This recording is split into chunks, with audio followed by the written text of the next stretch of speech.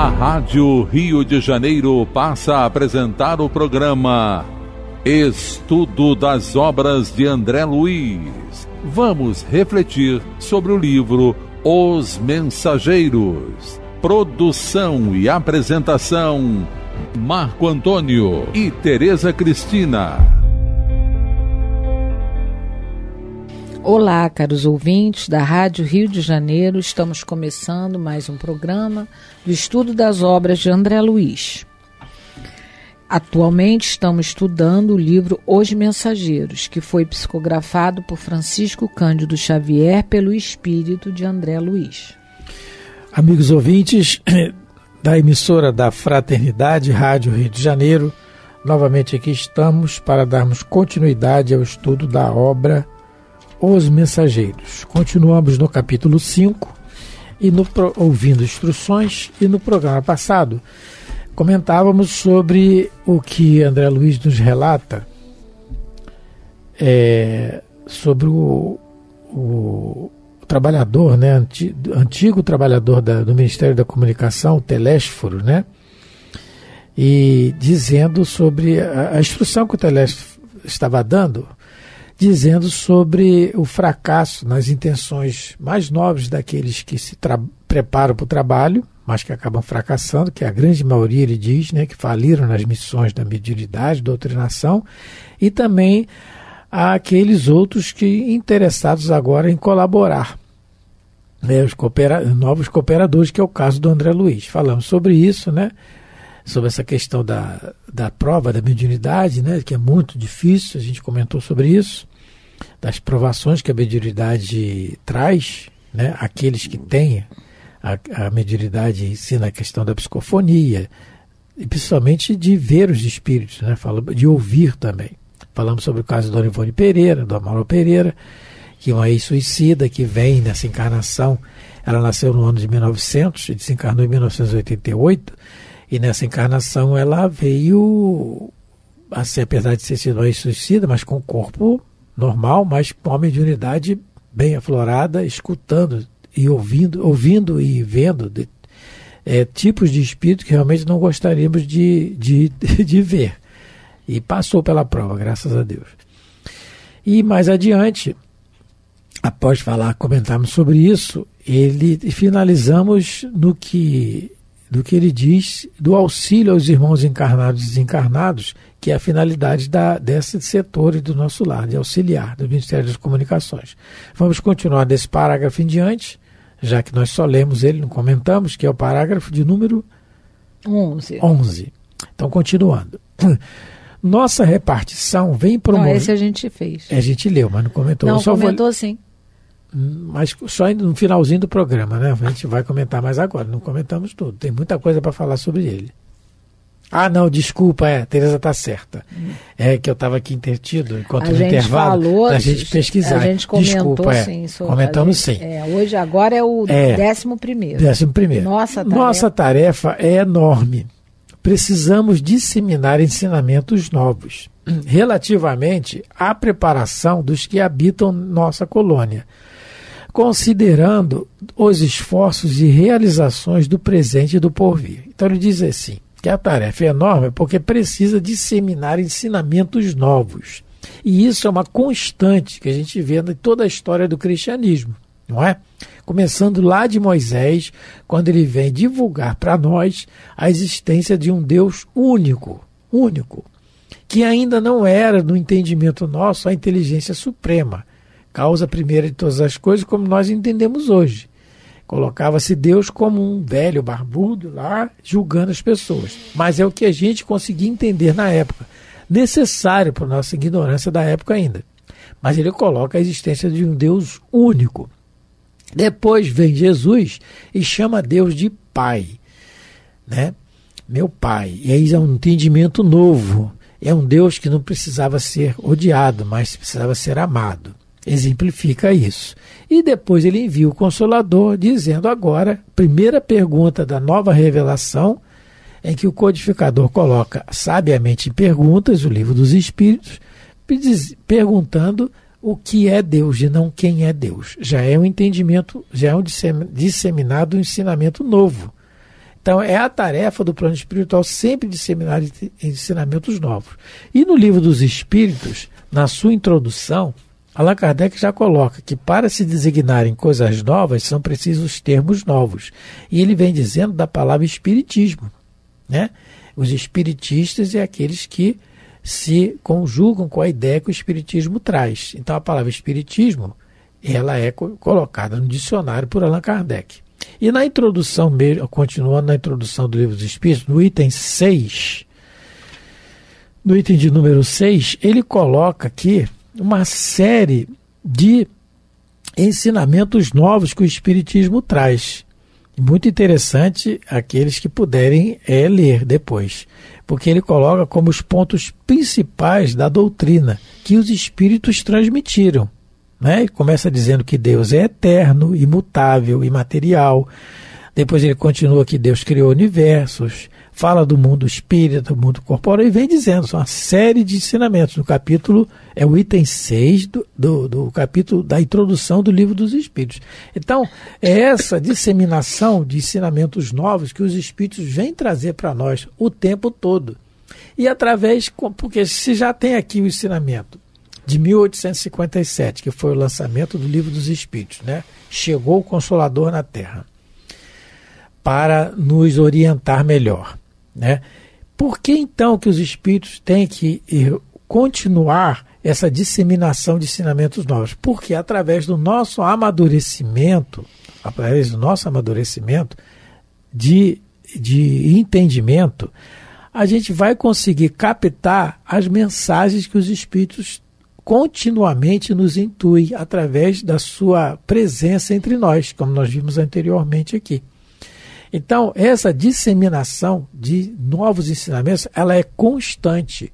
Porque cada vez que a gente estuda uma coisa, parece que a gente não leu direito. Mas, ué, mas eu vi isso, eu já li esse livro duas vezes, eu já li esse trecho três vezes, e eu não tinha entendido assim, eu entendi mais um pouco é esse ensinamento novo também que eles vêm transmitir é, para nós. O Marco, ele fez uma abrangência maior da questão de que sempre nós precisamos é, receber novos ensinamentos para mudar o próprio comportamento.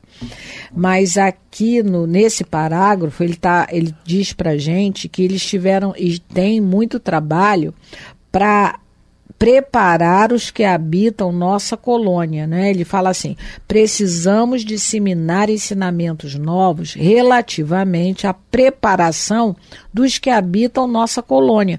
Porque se a gente lembrar, as pessoas lá no começo, lá em nosso lar, queriam comer né, é, comidas com fluidos grosseiros, teve aquela briga danada. Depois a dona Laura fala que vieram espíritos instruir sobre a música, sobre a harmonia. Então, é, além do trabalho que eles têm conosco, os encarnados e os desencarnados que estão presos à crosta da Terra, eles também têm trabalho dentro da colônia, porque toda hora eles precisam dar novos ensinamentos. E a gente viu da dificuldade que é daqueles que não se prepararam espiritualmente durante a encarnação. Por isso é que geram também espíritos materiais que, que são ainda muito apegados às coisas da terra. Quando eu estava lendo isso, eu lembrei de um livro eu estou atualmente até relendo ele. É um livro muito bom. Quem tiver interesse, o livro se chama Nas Fronteiras da Loucura. É um livro psicografado por Divaldo Pereira Franco, pelo espírito Manuel Filomeno de Miranda, e ele relata os bastidores espirituais das, da época, né? É, do carnaval aqui no Rio de Janeiro, que é uma época conturbadíssima que as pessoas vão, vão às ruas não só para brincar, infelizmente, elas vão para fazer bobagem, vamos dizer assim, para não falar outros termos.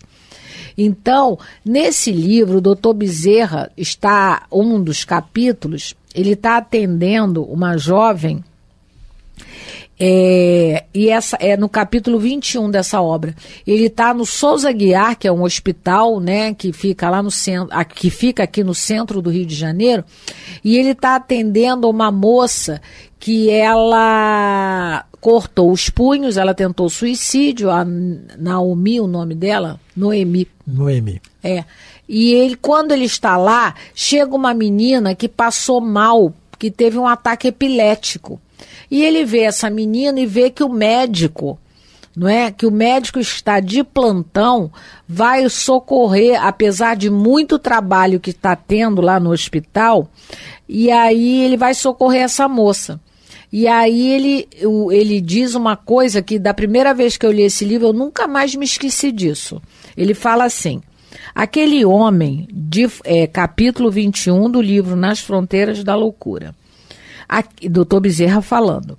Aquele homem de formação ética relevante prontificara-se para o atendimento naqueles dias de carnaval, quando a maioria dos médicos, por muitas razões, preferem não o fazer. Desinteressado das grandes atrações, era o missionário anônimo da arte de curar e, portanto, portador de excelentes credenciais em nosso campo de ação. É, não sou adepto de religião nenhuma. No entanto, tenho cliente, ele, porque aí o doutor Bezerra vai narrar uma conversa dele com a senhora, mãe da menina que teve o ataque epilético. Eu não sou adepto de religião nenhuma. No entanto, tenho clientes com o mesmo problema é, que obtiver excelente resultado participando das reuniões espíritas. Olha, ele é ateu, mas ele tem clientes que têm problemas de epilepsia que conseguiram melhoras não abandonando, lógico, o tratamento médico, mas junto o tratamento espiritual. E aí, por que ele fala isso? Porque o doutor Bezerra está conseguindo intuir ele. O doutor Bezerra, ele tem acesso, né, é, fácil a esse a esse médico que se diz ateu. Mas ele é ateu, mas ele é ele, ele já desenvolveu a fraternidade, né? E aí o doutor Bezerra conclui assim: Doutor Bezerra exteriorizou um semblante jubiloso, referindo-se. É melhor às vezes, é isso que eu nunca mais me esqueci. É melhor às vezes lidar com quem diz não ter religião e ama o próximo servindo, ajudando, do que com aqueles que se dizem religiosos, não amando o próximo e explorando. Isso ficou gravado para sempre. Então, é, a dificuldade que o mundo espiritual tem em se comunicar conosco parte da, do não desenvolvimento dos nossos sentimentos para o bem de ajudar, de servir, de meditar, de orar. Cada vez mais existe essa dificuldade, porque a gente só pensa nas coisas materiais. Então, quer dizer, ele está dizendo que o trabalho é grande, não só fora da colônia, mas como dentro da colônia também. Então, eles sempre eles estão é, fornecendo, como o Marco falou, eles estão sempre fornecendo é, instruções novas, agora de acordo com, a, é, com o nível evolutivo de cada pessoa, né? É questão da sintonia do bem, né? É. Graças a Deus. É como isso que a Teresa falou, né? Esse trecho que ela leu desse livro Nas Fronteiras da Loucura, é bem aquilo que Jesus fala para aquela turma de judeus que em volta, fariseus, estava sempre cercado, quando ele ele um romano vem pedir a ele ajuda. E o romano era um herege, dito como herege, né? né na época. Era, era endemoniado, era herege. Não, romano. o romano. O romano, então, era o mais odiado de todos. Sim. E aí vem pedir ajuda o centurião. E aí ele fala para Jesus, e Jesus fala que ia à casa dele. Só aquilo já escandaliza. Como é que vai entrar na casa de um, de um romano? Os próprios apóstolos já escandalizavam. E ele fala: na, na prática, não. Se eu dou ordem a alguém, um dos meus soldados, ele cumpre. Eu sei que se o senhor mandar, ele vai ficar bom. Porque eu, quer dizer, raciocinando a lógica. E aí Jesus fala que nunca viu tamanha fé em Israel como naquele homem. Como, então, é, então é dito como herege. Ele não acreditava em Deus como, como, como no Deus único. No Deus né? único, aquelas coisas. Ele era coisas, politeísta. Né? Não é politeísta e tal. E aí? Né? É muito relativo isso. Mas raciocinando mais um pouco aqui, o que ele diz, que precisamos disseminar ensinamentos novos. Ah, mas, vamos ler mais um pouquinho, né, Teresa? É. É indispensável socorrer os que enfrentam corajosos as profundas transformações do planeta. Então, a gente, nós podemos associar o que ele disse anteriormente, no parágrafo anterior, que precisamos disseminar ensinamentos novos, porque ele vai estar tá dizendo agora. Porque estão aí as profundas transformações do planeta. O nosso planeta é um planeta é, catalogado como de provas e expiações, porque aqui estamos nós, espíritos altamente endividados, que necessitamos das expiações e das provas, que é muito mais de expiação do que prova, não é? que estamos aí. E, a, e esse planeta vai evoluir como tudo se transforma, na, como disse Lavoisier, na natureza nada se cria, tudo, tudo se transforma, né? Tudo, tudo vai de um progresso. Progresso é lei de Deus, é lei de progresso. E o planeta vai progredir, ele vai ser uma sociedade mais justa vai ser um planeta já regenerado, de regeneração. Tá, estamos caminhando para isso já. Então essa transformação ela acontece pela informação, como ele vem dizendo aqui, pelo auxílio aos irmãos encarnados e desencarnados, auxílio a todos, que é a missão do, do homem inteligente na Terra, como está no livro dos Espíritos, no capítulo de número 7, Bem-aventurados os pobres de espírito em que Allan Kardec coloca uma mensagem do espírito Ferdinando, em que ele diz um trecho assim: que a missão do, do homem inteligente na Terra é desenvolver cada vez mais a, a a, a, a, desenvolver cada vez mais, desculpe, o exercício de auxílio aos outros, né? e de, ajudando a desenvolver, por sua vez, as inteligências retardatárias e conduzirem a Deus. Então, essa é a missão dos espíritos já instruídos, que vêm até nós auxiliar. E no, e no livro dos espíritos, logo após a introdução, tem a parte de prolegômeros. O que, que a gente pesquisou o que quer dizer prolegômeros? É a exposição preliminar dos princípios gerais de uma crença. Então, é uma introdução, uma pré aprendizado, né? É uma exposição preliminar, aquilo que você expõe do que a crença vem dizer. E Allan Kardec coloca nos prolegômeros, dizendo um trecho assim: em que este livro é o repositório de seus ensinos, livro dos Espíritos. Foi escrito por ordem e mediante ditado de espíritos superiores. Né? E mais a gente diz assim: que os espíritos dizem a ele: Nele pusemos as bases de um novo edifício que se eleva e que um dia há de reunir todos os homens no mesmo sentimento de amor e caridade. Então, as bases que estão aqui na, na obra, no, no, no Espiritismo, são aquelas que vão nos elevar a um sentimento de amor e caridade numa sociedade. Então, essa profunda transformação do planeta, em que o Telésforo está dizendo aqui, André Luiz passa para nós, ela, ela é exatamente isso. Ela é o socorro dos espíritos a todos nós que procuramos enfrentar corajosos as profundas transformações do planeta. O que quer dizer? Os desafios do dia a dia nosso, né?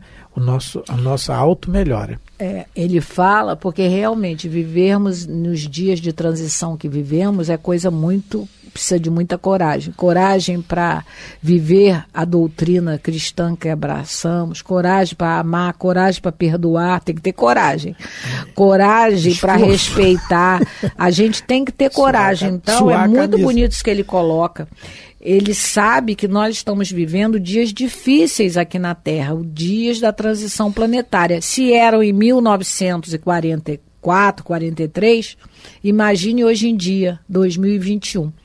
Mas no livro A Gênese, no capítulo 18, Allan Kardec vai falar sobre os sinais do tempo, sobre essa transformação. Kardec já tinha sido orientado aos espíritos que a Terra passaria, começaria a partir do lançamento né, da obra O Livro dos Espíritos, viveria uma grande transformação. Nesse capítulo 18 tem uma mensagem do Dr. Barry, ou Barry, não sei como se pronuncia, não sei se ele era inglês ou francês. Se fosse inglês é Barry, se for francês é Barry. Então é colocado assim nessa mensagem, capítulo 18, e tem 9. A humanidade terrestre, tendo chegado a um desses períodos de crescimento, está em cheio há quase um século no trabalho de sua transformação, pelo que vemos agitar-se de todos os lados, presa de uma espécie de febre e como que impelida por invisível força. Assim continuará até que se haja outra vez estabilizado em novas bases. Uma coisa que vos parecerá estranhável, mas que por isso não deixa de ser rigorosa verdade, é que o mundo dos espíritos, mundo que vos rodeia, experimenta o contra-choque de todas as comoções que estão abalando o mundo dos encarnados. Ficai, portanto, certos de que quando uma revolução social se produz na Terra, abala igualmente o mundo invisível. Imagine o que, que nós estamos vivendo. Onde todas as paixões, boas e más, se exacerbam, como entre vós indizível efervescência entra a reinar na coletividade dos espíritos que ainda pertencem ao vosso mundo e que aguardam o momento de a ele voltar. A agitação dos encarnados e desencarnados se juntam às vezes, e frequentemente mesmo, já que tudo se conjuga em a natureza, às perturbações dos elementos físicos. Então, nós estamos vivendo uma transformação tão grande, porque nós vamos eh, ser elevados à categoria de planeta de regeneração, que até os elementos físicos do planeta também estão perturbados. A gente vê que o clima no mundo ele está descontrolado. Ele é o reflexo de toda a nossa, de todo o nosso desequilíbrio a nível espiritual, a nível material. Então, quando o telésfero ele fala, né, que ele tem que ajudar os encarnados que estão vivendo esse momento de transição. É muito bonito para a gente entender que a gente não está abandonado pela divindade. E, de repente, nós fomos aqueles mais corajosos que pedimos para passar agora por esse período tão difícil, não é? é esse a Joana de Andes lhe fala que nós estamos naquele é, prestes ao alvorecer, mas ainda é madrugada, ainda é noite fechada.